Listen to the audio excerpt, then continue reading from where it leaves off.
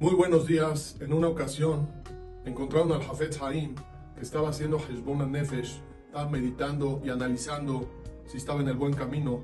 Y en eso escuchan que se grita a sí mismo Israel Meir, así se llamaba. Se grita y se dice: ¿Acaso tú has sido agradecido con Hashem sobre tu obra maestra, el Hafetz Haim, que la pudiste ordenar de la mejor manera? ¿Acaso tú, Hafetz Haim, has sido agradecido por todos los libros que hiciste por toda la inteligencia que Dios te dio para poder sacar todos tus libros?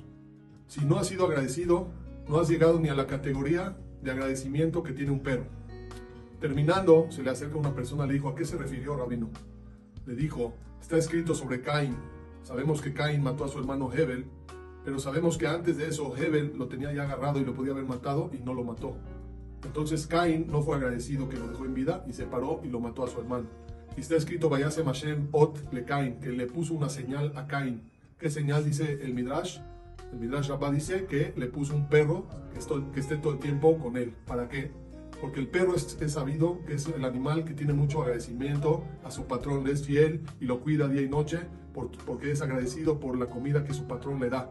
Entonces el Jafet Haim le quiso decir, se quiso decir a sí mismo, si yo no soy agradecido, no he llegado ni siquiera al nivel de un perro. De aquí aprendemos, esta fiesta Hanukkah es la fiesta de Leodot, de agradecerle a Boreola.